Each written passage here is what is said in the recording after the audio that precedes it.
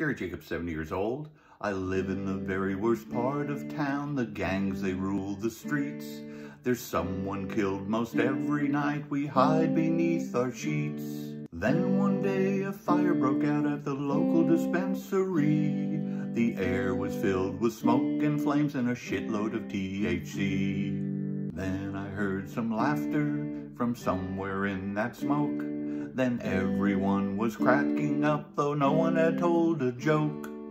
The rival gangs were getting along, it was a magical time. Then fire and police showed up in force, and we all formed a conga line. The party kept on going until the early dawn, but then the smoke it cleared away and soon everyone was gone. I hope they rebuild the dispensary in not too many days. And I truly hope when they finish it, somebody sets it ablaze.